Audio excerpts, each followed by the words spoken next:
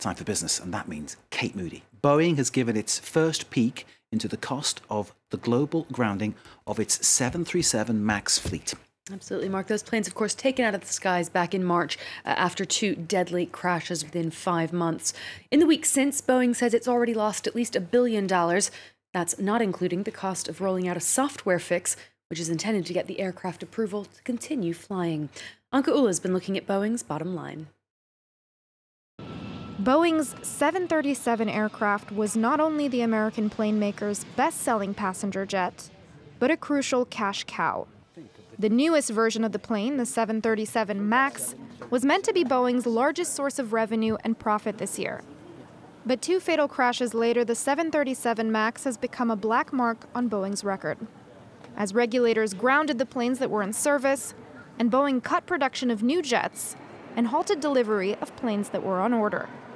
The grounding knocked 21% off the company's earnings in the first three months of the year, leading to both lower revenues and profits and costing the company $1 billion in production costs so far. In its earnings announcement, Boeing abandoned its 2019 financial outlook and halted share buybacks, citing uncertainty over when and how the grounded jets will fly again.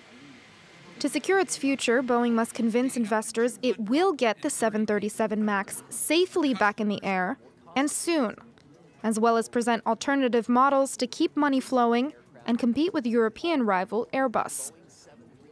Across the company, we're focused on safety, returning the 737 MAX to service, and earning and re earning the trust and confidence of customers, regulators, and the flying public.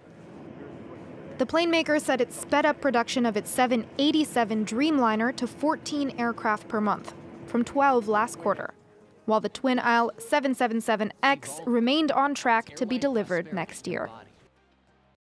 Well, Boeing shares dropped as those first quarter figures were published, but they've recovered uh, to close up about 0.4%. Wall Street, meanwhile, slipped by the closing bell, although the Nasdaq hit a new intraday high earlier on.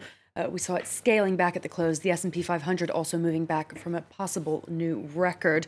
Disappointing results from Caterpillar and AT&T weighing down trade. Losses of about a quarter of a percentage point at the close there. In Europe, the DAX was boosted by strong results from German software giant SAP, which shares who saw its shares up 12%. Uh, the CAC 40 losing about one third of a percent here in Paris. The British government will reportedly allow Huawei to play a role in the development of its 5G network. The decision by the UK's National Security Council is a snub to the Trump administration, which has been lobbying its allies to boycott the Ch Chinese tech giant because of its ties to Beijing. Huawei will be blocked from core parts of the UK's 5G network, but will be allowed to supply some parts of that next generation mobile technology. Theresa May's government has yet to formally announce the decision, but the head of the UK's Government Intelligence Agency said it was assessing more factors than just where companies are based.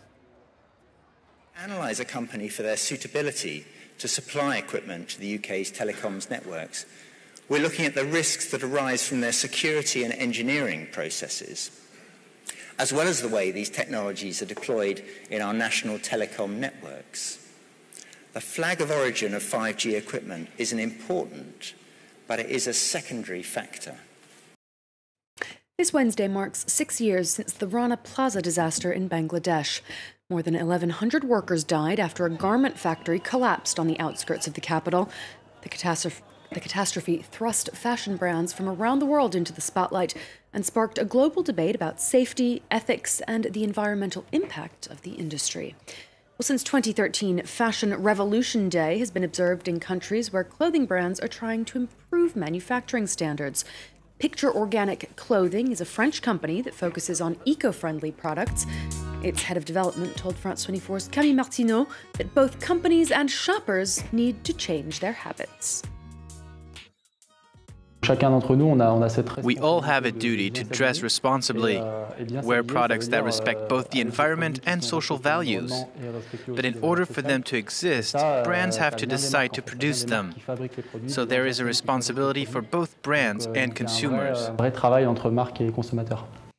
A reminder there, Mark, that the responsibility lies on both sides of a shop window. Yes, indeed. Kate, thank you very much indeed. Kate Moody with all the business.